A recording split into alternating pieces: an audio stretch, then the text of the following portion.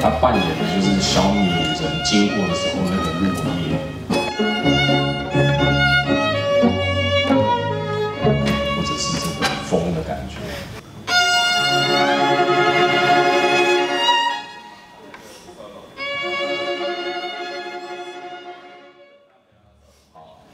这一首比较特别，叫《小米收获季》。